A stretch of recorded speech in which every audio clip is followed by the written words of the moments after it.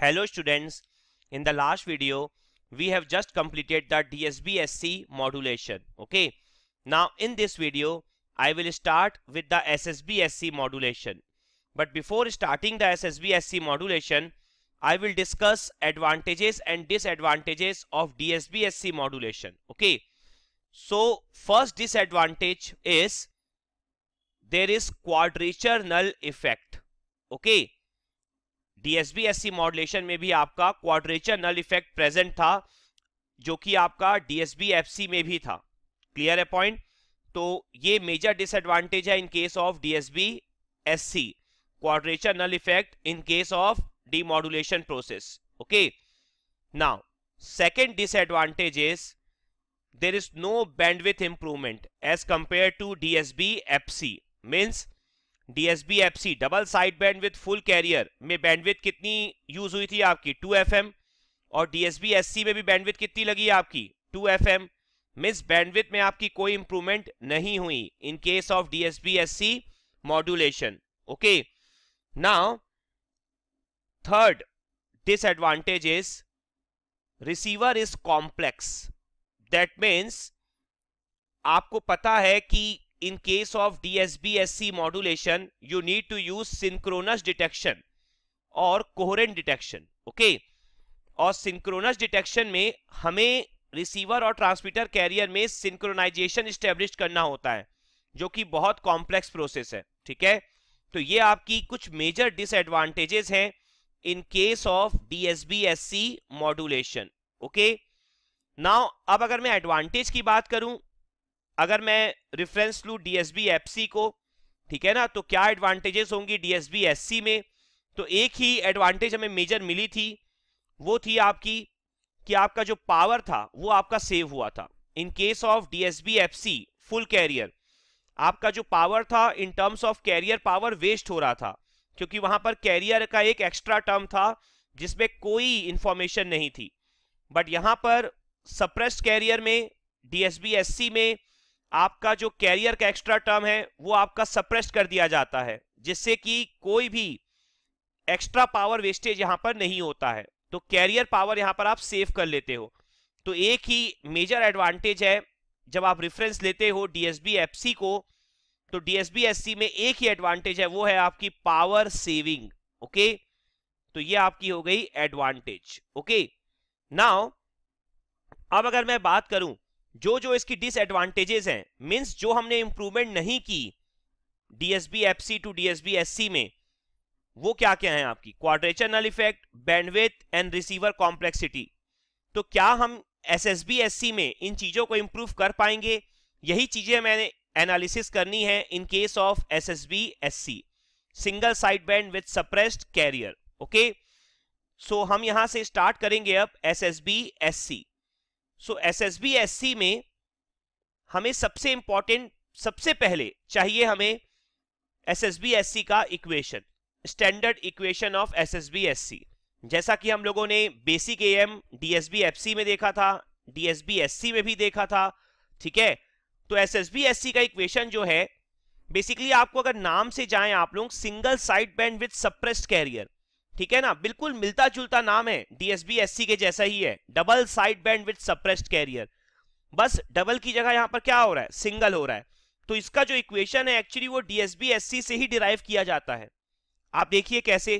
DSB SC का जो standard equation था आपका in case of single tone modulation जो हमने लास्ट वीडियोस में डिराइव किया हुआ है, वो था आपका A C A M by two cos two pi F C plus F M into t, okay, plus ac am by 2 cos 2 pi fc minus F M into T okay ये आपका standard equation था DSB SC का okay in case of single tone modulation अब, यहाँ पर देखिए आपकी, ये जो F C plus F M वाला टर्म है, ये क्या शो करता है आपका? अपर साइड बैंड और जो F C minus F M वाला टर्म है, वो क्या शो करता है आपका? लोअर साइड बैंड ओके तो यहाँ पर जो नेम है आपका, वो है single side band with suppressed carrier that means आपको अपर या लोअर में से एक ही साइड बैंड सेंड करनी है। दोनों साइड बैंड आपको सेंड नहीं करनी है। क्लियर है पॉइंट तो जो आपका S S B S C होता है ना, उसमें क्या होगा? जैसे सपोज़ करिए, अगर मैं यहाँ पर अपर साइड बैंड सिर्फ़ और सिर्फ़ सेंड कर रहा हूँ तो कितना हो जाएगा? A C A M by two cos two pi F C plus F M into T okay ये कब का केस होगा? जब आपने अपर साइड बैंड ट्रांसमिट की है ओके okay? अब अगर मान के चलिए मैं लोअर साइड बैंड ट्रांसमिट कर रहा हूँ तो क्या बन जाएगा इक्वेशन आपका? A C A M by two cos two pi F C minus F M into T okay ये बन गया आपका लोअर साइड बैंड के केस में।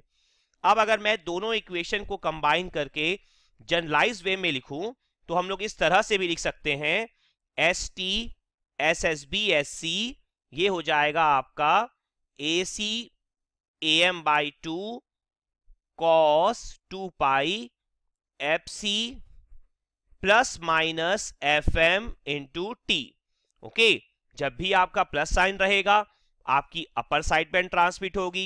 जब भी आपका माइनस साइन रहेगा, आपकी लोअर साइड बैंड ट्रांसमिट होगी। ओके क्लियर है पॉइंट अच्छे से? नाउ अगर मैं यहाँ पर कॉस ए प्लस बी या कॉस ए माइनस बी का फॉर्मूला अप्लाई कर दूँ तो वो फॉर्मूला प्लस के लिए क्या होता है? Cos A cos B minus sine A sine B minus के लिए क्या होता है? Cos A cos B plus sine A sine B mean sine आपके रिवर्स हो जाएँगे। ठीक है? तो फॉर्मूला क्या हो जाएगा देखिए?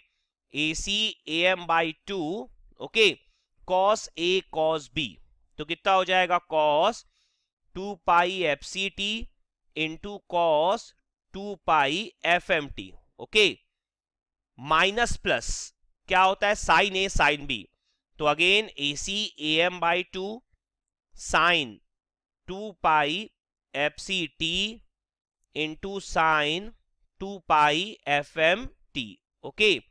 Now, जब हम लोगों ने डीएसबी एससी इक्वेशन का डेरिवेशन किया था फॉर सिंगल टोन मॉड्यूलेशन जो ये आपका इक्वेशन आया था।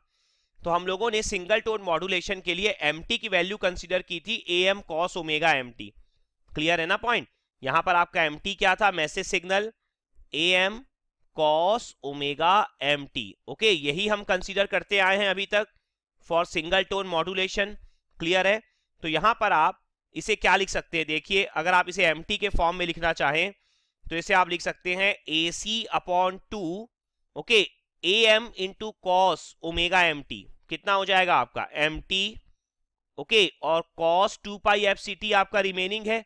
उसे आप एज इट इज़ लिख दीजिए। Cos two pi F C T okay now यहाँ पर देखिए आप माइनस प्लस देखिए अब यहाँ पर ध्यान से, यहाँ पर A M into sine two pi F M T का टर्म है। ठीक है? लास्ट टर्म आपका क्या था? एम टी क्या था आपका? एम टी था A M into cos two pi F M T यहाँ पर जो आपका टर्म है, वो है A M into sine two pi F M T दोनों आपके रिलेटेड हैं, आप देख लीजिए। दोनों का amplitude A M A M है, दोनों की frequency F M F M है। ओके बस कॉस की जगह क्या हो गया? साइन दैट मीन्स आप कह सकते हैं कि 90 डिग्री फेस शिफ्टिंग हुई है। ठीक है ना? कॉस और साइन के बीच में 90 डिग्री का फेस शिफ्ट होता है। तो इस टर्म को हम रिप्रेजेंट करते हैं ए सी बाई टू और ये टर्म आपका हो जाएगा M cap T okay into sine two pi F C T okay तो बेसिकली एम कैप टी क्या है? एम टी क्या है आपका? A M cos two pi F M T तो एम कैप टी क्या है? A M sine two pi F M T that means आप समझ रहे होंगे एम कैप टी रिप्रेजेंट कर रहा है एम टी का 90 डिग्री फेस शिफ्टेड वर्जन ठीक है? तो एम टी से एम कैप टी कैसे बनाया जाता है?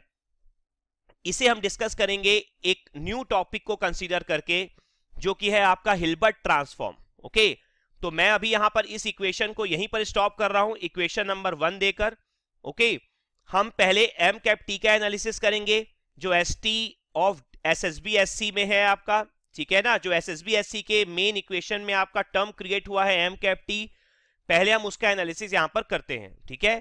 तो हिलबर्ट ट्रांसफॉर्मर ये क्या होता है आपका? तो अगर मैं देखूँ Hilbert transformer is just like a system okay Hilbert transform okay इसका अगर इनपुट सपोज़ करिए मैं देता हूँ एक्स टी तो इसका जो आउटपुट आता है वो आता है X cap T X cap T आपका क्या है? एक्स कैप टी है आपका 90 degree phase shifted version of X T okay अगर मैं हिलपर ट्रांसफॉर्म को एच टी से रिप्रेजेंट करूँ ओके okay, तो यहाँ पर सपोज़ करिए कि अगर आपने इनपुट दिया कॉस तो आंसर क्या हो जाएगा साइन आपने इनपुट दिया साइन तो आंसर क्या हो जाएगा cos after passing through Hilbert transform. Okay? तो हिलबर्ट ट्रांसफॉर्म एक्चुअल में कैसे वर्क करता है? तो हिलबर्ट ट्रांसफॉर्मर जो रहता है आपका, जब भी आप उसे कोई इनपुट देते हैं तो उसके आउटपुट में होता क्या है? किस तरह से चेंजेस आते हैं? बेसिकली वो फेस शिफ्ट प्रोवाइड करता है। तो कैसे वो फेस शिफ्ट प्रोवाइड करता है? एक्चुअल में, जब आपकी फ्रीक्वेंसी जो है वो आपकी पॉजिटिव होती है। ओके तो it will provide minus ninety degree phase shift okay now जब फ्रीक्वेंसी आपकी नेगेटिव होती है तो it will provide plus 90 degree phase shift okay और आप जानते हैं कि आप माइनस नाइनटी डिग्री को चाहें तो माइनस जे से भी रिप्रेजेंट कर सकते हैं। और प्लस 90 डिग्री को चाहें तो आप प्लस जे से भी रिप्रेजेंट कर सकते हैं। ठीक है ना? अगर एम्पलीट्यूड वाइज आप रिप्रेजेंट करना चाहते हैं तो आपको पता है जे मीन्स 90 डिग्री ओके ना? क्लियर है पॉइंट अच्छे से? तो यहाँ पर, अब अगर मैं इसका ग्राफ ड्रॉ कर लू हिलबर्ट ट्रांसफॉर्म का तो आप देखिए यहाँ पर ग्राफ कुछ आपका इस तरह से ड्रॉ हो जाएगा। देखिए फ्रीक्वेंसी के रेस्पेक्ट में होगा आपका, ठीक है ना? अब देखिए क्या कह रहा है, जब फ्रीक्वेंसी आपकी पॉजिटिव होती है तो फेस शिफ्ट कितना होता है? माइनस नाइनटी या आप लिख सकते हैं माइनस जे ठीक है? तो कैसे लिखेंगे आप लोग? Minus J. दैट मीन्स इस तरह से बनेगा आपका। Okay okay. नाउ जब फ्रीक्वेंसी आपकी नेगेटिव होती है तो क्या बनता है? Plus J. तो नेगेटिव फ्रीक्वेंसी आपकी लेफ़्ट हैंड साइड में होगी। तो आप यहाँ पर क्या लिख सकते हैं? प्लस जे। ओके तो ये इस तरह का कुछ ग्राफ बनता है आपका। ठीक है? अब अगर आप लोगों ने सिग्नल सिस्टम की स्टडी की हुई है तो आप लोगों ने सिग्नल सिस्टम में ऐसा कहीं ना कहीं कोई ना कोई ग्राफ आप लोगों ने ज़रूर देखा होगा। ठीक है? तो सिग्नल सिस्टम में जो आप लोगों ने ऐसा कहीं ग्राफ देखा है, वो होता है आपका signum signum of F signum of T के फॉर्म में आप लोग पढ़ते हो, मैं यहाँ पर एफ़ के फॉर्म में ले रहा हूँ। सिग्नम ऑफ़ एफ़ जो होता है आपका कुछ इस तरह से होता है। वन, और यहाँ पर ये होता है माइनस वन। ठीक है? नाउ अब अगर मैं इस ग्राफ को हिलबर्ट ट्रांसफॉर्म के ग्राफ से कंपेयर करूँ तो आप यहाँ पर क्लियरली देख सकते हैं कि दोनों ग्राफ मिलते जुलते हैं आपके। एग्जैक्टली exactly सेम नहीं है बट आपके थोड़े बहुत सिमिलर है, ठीक है? तो यहाँ पर अगर ध्यान से देखिए, अगर मैं सिग्नम एफ़ के ग्राफ में जे से मल्टीप्लाई कर दूँ, ठीक है? मैं लिख दूँ यहाँ पर J signum of F okay तो यहाँ पर जो एम्पलीट्यूड है सिग्नम एफ़ में आप जे से मल्टीप्लाई कर रहे हैं मीन्स आप एम्पलीट्यूड में जे से मल्टीप्लाई कर रहे हैं। तो यहाँ पर जो एम्पलीट्यूड है, वो वन की जगह क्या हो जाएगा? जे और माइनस वन की जगह क्या हो जाएगा आपका? माइनस जे ओके क्लियर है पॉइंट नाउ अब अगर मैं एम्पलीट्यूड में यहाँ पर माइनस से मल्टीप्लाई कर दूँ मींस अब अगर मैं यहाँ पे ड्रॉ करूँ आपके लिए minus J signum of F okay तो आप यहाँ पर ध्यान से समझिए, जब भी एम्पलीट्यूड में माइनस से मल्टीप्लाई होता है, जो ऊपर वाला ग्राफ है वो नीचे शिफ्ट हो जाता है, जो नीचे वाला ग्राफ है वो ऊपर शिफ्ट हो जाता है। मीन्स आपको क्या करना है? अगर कोई पोर्शन ऊपर बना है, उसे नीचे बना दीजिए। जो नीचे बना है, उसे ऊपर बना दीजिए। बहुत ही सिंपल लैंग्वेज में आपको दिमाग में रखना है अपने। ओके सो यहाँ पर जो माइनस जे वाला पोर्शन है, वो ऊपर की तरफ़ शिफ्ट हो जाएगा एंड प्लस जे वाला पोर्शन आपका नीचे की तरफ़ शिफ्ट हो जाएगा। Okay so this will become plus J और ये आपका बन जाएगा माइनस जे ओके और एक्चुअल में यही ग्राफ था हमारा हिलबर्ट ट्रांसफॉर्म का। ओके सो हिलबर्ट ट्रांसफॉर्म का जो आपका ट्रांसफ़र फ़ंक्शन या जो ग्राफ होता है आपका, वो कुछ इस तरह से होता है। Minus J signum of F okay यही है आपका हिलबर्ट ट्रांसफॉर्म क्लियर है पॉइंट तो यहाँ पर मैंने आपको हिलबर्ट ट्रांसफॉर्म का एनालिसिस करवाया है। अब मैं आपको एक दो एग्ज़ाम्पल दे रहा हूँ हिलबर्ट ट्रांसफॉर्म के केस के लिए। सपोज़ करिए आपका हिलबर्ट ट्रांसफॉर्म है, कोई सिस्टम है।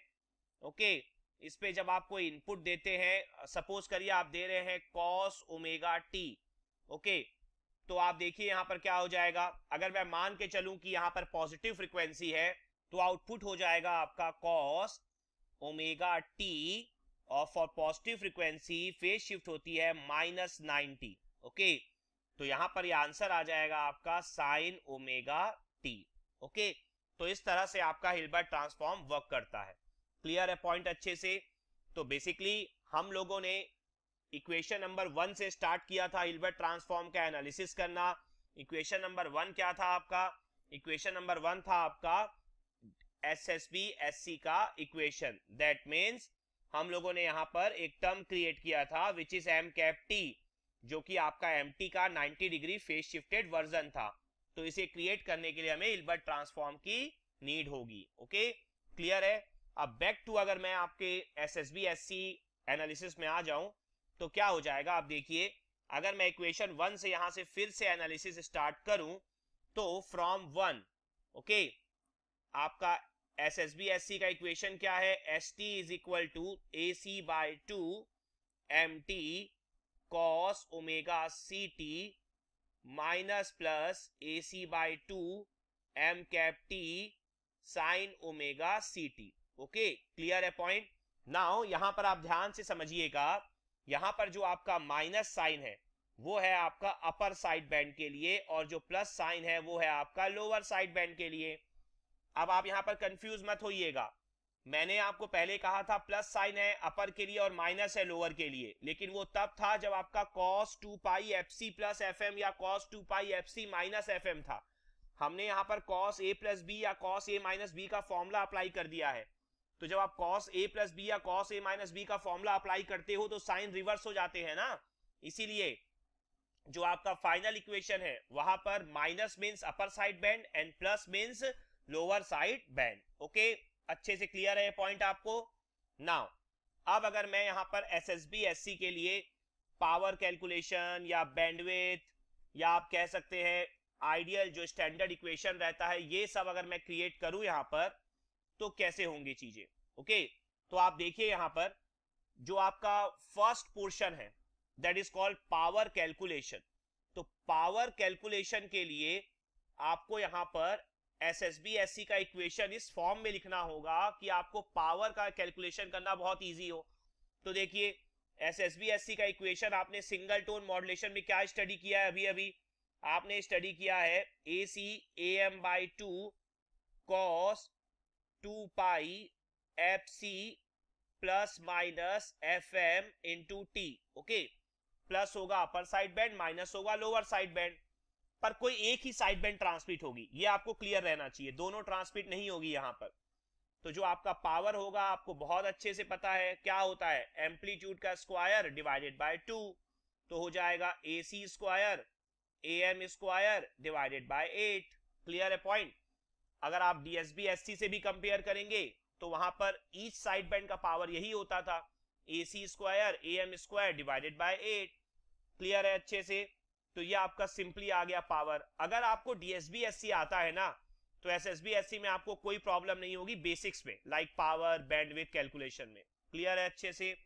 नाउ यहाँ पर अगर मैं पावर से रिलेटेड पावर सेविंग स्टडी करूँ तो पावर सेविंग अगर मैं फ़र्स्ट केस स्टडी यहाँ पर करूँ कि आपने अगर डीएसबी एससी से मूव किया है एसएसबी एससी की तरफ़ ओके तो कितना पावर आपका सेव हो रहा है ओके तो आप देखिए डीएसबी एससी में आपका टू साइड बेंड्स थी और टोटल पावर कितना था? A C square M square by four okay और S S B S C में आपकी सिंगल साइड बेंड है।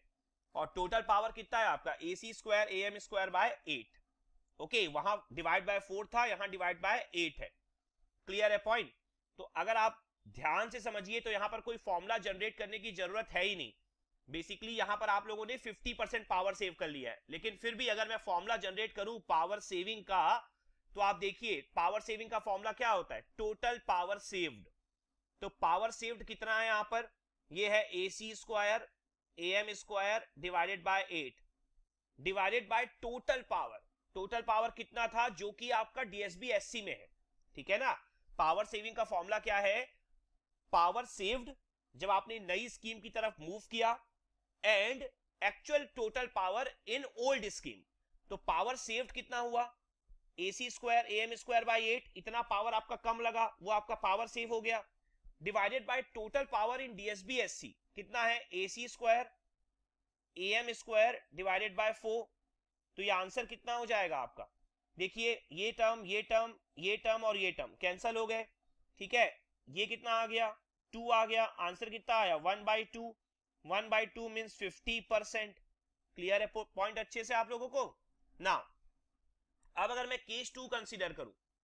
केस टू में अगर मैं कंसिडर करता हूँ कि if I goes from DSB FC to SSB SC okay तो इस केस पे आपका कितना पावर सेव होगा?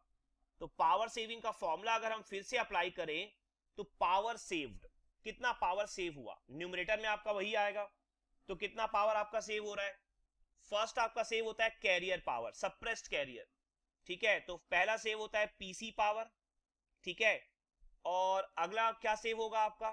अगला सेव होगा सिंगल साइड बैंड पावर तो सिंगल साइड बैंड पावर को आप यहाँ पर एम के फॉर्म में लिख सकते हैं A C square M A square divided by eight okay क्योंकि यहाँ पर आप जो डीएसबी एफसी पढ़ते हैं, वो आप मॉडुलेशन इंडेक्स के फॉर्म में पढ़ते हैं ना? तो आप उसी के रेस्पेक्ट में कंपेयर करेंगे। तो यहाँ पर आपकी डीएसबी एफसी में क्या थी? Double side band with full carrier ठीक है? तो यहाँ पर क्या है? सिर्फ़ और सिर्फ़ सिंगल साइड बैंड है। कैरियर भी आपका सप्रेस्ड हो गया है। मीन्स आप लोगों ने क्या क्या पावर सेव किया? आप लोगों ने सेव किया एक साइड बैंड का पावर जिसका फॉर्मूला था A C square M A square by eight in case of DSB FC और एक आप लोगों ने कैरियर का पावर सेव किया है, जिसका फॉर्मूला होता है PC A C square by two और डीएसबी एफसी के केस पे टोटल पावर कितना था?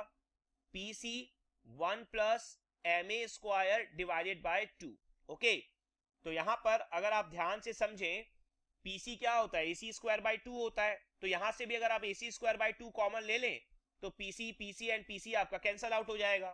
ठीक है? तो क्या लिख सकते हैं? वन प्लस यहाँ पे क्या आ जाएगा? M A square upon four divided by one plus M A square upon two clear है पॉइंट नाउ अगर आपको अच्छे से एग्ज़ाम्पल के थ्रू समझाने के लिए मैं एम ए की वैल्यू वन कंसिडर करूँ यहाँ पर तो आप देखिए if M A is equal to one then power saving कितनी हो जाएगी आपकी? One plus one by four divided by one plus one by two ठीक है? अगर आप इसे एलसीएम लेके सॉल्व कर दे यहाँ से तो ये कितना हो जाएगा आपका? फाइव बाई फोर ओके और यहाँ पर कितना हो जाएगा ये आपका? Three by two okay so ये आपका सॉल्व होके आ जाएगा फाइव अपॉन यहाँ से कितना आ जाएगा आपका ये? सिक्स क्लियर है point so this is five upon six and 5 upon 6 is approximately equal to 83.83 percent clear है? तो एक्चुअल में आपका 83.83 परसेंट पावर सेव हो गया when M A is equal to one clear actual में अगर आप थोड़ा ध्यान से एनालिसिस करें तो आपको खुद ही समझ में आ जाएगा कि ये वैल्यू कैसे आई। देखिए, जब आप लोग ने लास्ट केस पे स्टडी किया था, जब आप लोगों ने डीएसबी एससी का एनालिसिस किया था, तब भी मैंने पावर सेविंग का फॉर्मूला आपको लिखाया था। When you have moved from DSB FC to DSB SC आपको याद होगा। और जब मैंने MA की वैल्यू वन ली थी तो वहाँ पर पावर सेविंग आया था आपका 66.67 परसेंट ठीक है? इसका मीनिंग क्या है? कि कैरियर पावर आपका सप्रेस्ड हो गया था। और हम लोगों ने पढ़ा था कि कैरियर पावर के टर्म्स में 66.67 परसेंट पावर वेस्ट होता है। तो उतना ही पावर आप सेव करते हैं जब आप लोग सप्रेस्ड कैरियर टेक्निक का यूज़ करते हैं। ठीक है ना? एम इक्वल टू वन के लिए। ठीक है? तो यहाँ पर आप देखिए, जब आप लोग एफ़ से एससी की तरफ़ गए थे डबल साइड बैंड में तो आपका कैरियर पावर सेव हुआ था। एम इक्वल टू वन के लिए उसकी वैल्यू थी 66.67 percent that means M equal to one के लिए 33.33 परसेंट पावर जो था वो साइड बैंड को दिया जा रहा था। दोनों साइड बैंड को मिलाकर, ठीक है? तो यहाँ पर आप लोगों ने एक और साइड बैंड का पावर सेव किया है। मीन्स आप लोगों ने 33.33 का भी half that means around 16.5 percent power आपने और सेव कर लिया। तो अगर आप 66 और 16.5 समथिंग अराउंड ऐड करेंगे तो आपका ऑलमोस्ट 83 के आसपास आपका आंसर आएगा। ठीक है ना? तो यहाँ पर बेसिकली आप लोगों ने एक कैरियर का पावर सेव किया है और आप लोगों ने साथ ही साथ एक और साइड बैंड का पावर सेव किया है, ठीक है? तो इसलिए आपका आंसर आया 83.83 परसेंट क्लियर है पॉइंट अच्छे से आप लोगों को? तो ये पावर सेविंग का जो फॉर्मूला है ना, मैं आपको एम इक्वल टू वन के लिए एग्ज़ाम्पल दे रहा हूँ। उसके लिए आपको शायद याद भी हो जाए वैल्यू रट भी जाए आप लोगों को। लेकिन आपको पावर सेविंग का जनरलाइज फॉर्मूला कैलकुलेट करना आना चाहिए एग्ज़ाम में। क्योंकि एग्ज़ाम में आपको MA equal to two three four point five point eight कोई भी वैल्यू आपको दे सकता है। तो आपको उसके लिए एनालिसिस करना आना चाहिए अच्छे से। क्लियर है पॉइंट नाउ अब अगर मैं यहाँ पर डीएसबी एससी के लिए एक ग्राफ शो करूँ आपको, क्योंकि मुझे मेन एम क्या है? हमें एसएसबी एससी के लिए हर चीज़ कहाँ से मिल रही है? डीएसबी एससी से मिल रही है, ठीक है? तो मैं यहाँ पर अगर आपको डीएसबी का स्पेक्ट्रम शो करूँ एसएफ तो आपको याद ही होगा हमने लास्ट क्लास में इसे बनाया था SF for DSB SC okay तो ये आपका क्या था? जब हम लोगों ने स्पेक्ट्रम ड्रॉ किया था तो हमारी रेंज थी F C minus F M to F C plus F M positive side में, और सेम आपका बना था नेगेटिव साइड में ओके तो हम लोगों ने एफ़ सी के ऊपर वाले को क्या कहा था? अपर साइड बैंड और एफ़ सी के नीचे वाले को क्या कहा था? लोअर साइड बैंड क्लियर है पॉइंट अच्छे से? तो यहाँ पर एक्चुअल में सिर्फ़ और सिर्फ़ एक ही साइड बैंड आपकी ट्रांसमिट होनी है। ठीक है?